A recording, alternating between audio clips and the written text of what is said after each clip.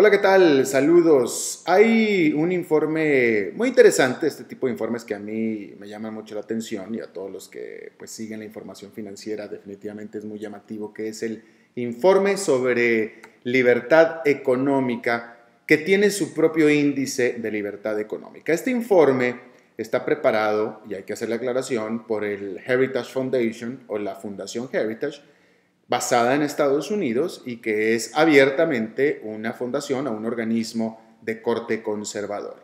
Habiendo hecho la aclaración, eh, pues el informe es bastante interesante y e, es hecho año con año y por supuesto que abarca a todos los países del planeta y lo que más nos interesa aquí a nosotros pues son por supuesto los países de nuestra región. En este informe que acaba de salir hace unos días, el informe de libertad económica 2012, Déjeme le hablo un poquito de él. ¿Qué es lo que cubre este informe y cómo es cómo se elabora, cuáles son los parámetros que tiene?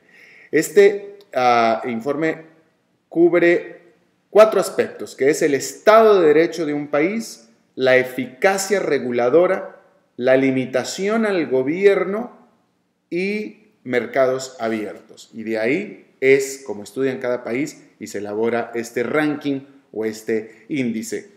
Este índice tiene cinco categorías que van desde libre hasta pues no libre y en medio comienza con libre, después sigue mayormente libre, moderadamente libre, mayormente controlada la economía y reprimida, que es el último eslabón. Bueno, es interesante porque en lo que es libre, en la parte de arriba, solamente hay unos cuantos países, muy poquitos países, y ninguno tiene la puntuación de 100, porque en esta puntuación que es de 1 hasta 100, los libres van de 80 a... Pero bueno, el país o la región más libre del planeta es Hong Kong y le sigue Singapur, Australia, Nueva Zelanda y Suiza. Son los únicos países verdaderamente libres en el planeta de acuerdo a este ranking, obviamente ninguno de América Latina. De todos modos, hay otra, la categoría hacia abajo, que hay unos pocos países nada más, que es la de mayormente libre. Ahí es donde encontramos ya nosotros a los primeros países de América Latina. Eh, de hecho, nada más al único país de América Latina, solamente es uno que es mayormente libre, es Chile que es el país mayormente libre, con una puntuación de 78,3 puntos sobre 100. Y junto con eh, Chile, en esta categoría, hay, eh, es donde está Canadá, es donde está Estados Unidos, es donde está la Gran Bretaña, Japón y Alemania. Y de todos modos son unos cuantos países nada más. En la categoría donde ya están casi todos los países, eh, el grueso de los países es en moderadamente libre. De América Latina, en moderadamente libre, están El Salvador, Perú, Costa Rica, Colombia, México, Panamá, Paraguay, Guatemala y República Dominicana. Y en esta misma eh, categoría es donde se encuentran el grueso de los países de la Unión Europea.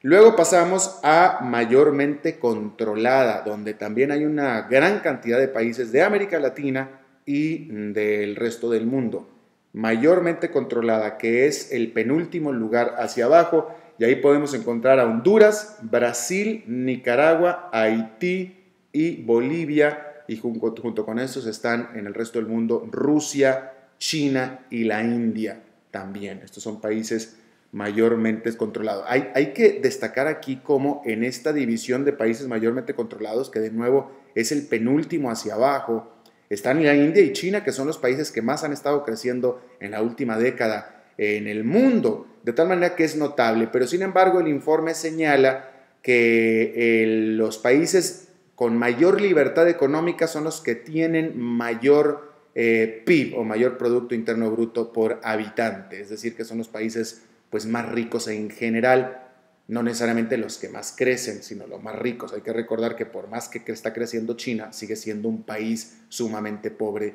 en general. Y bueno, pasamos a la última categoría, que son las economías reprimidas. Y aquí en estas economías hay, eh, dentro de América Latina, pues están los que usted ya se está imaginando, por supuesto, pero hay un nombre que a mí me sorprendió francamente, que es Argentina. Argentina está metido en, este, en esta categoría como de economía reprimida Y de hecho, arriba de Argentina está Ecuador. Yo esperaba ver aquí Ecuador, pero Ecuador es menos reprimido que Argentina. Y la lista va así, Ecuador, Argentina, Venezuela y el último es Cuba, de acuerdo a este ranking de la eh, informe de la libertad económica que prepara el Heritage Fund de Estados Unidos. Muchas gracias. thank you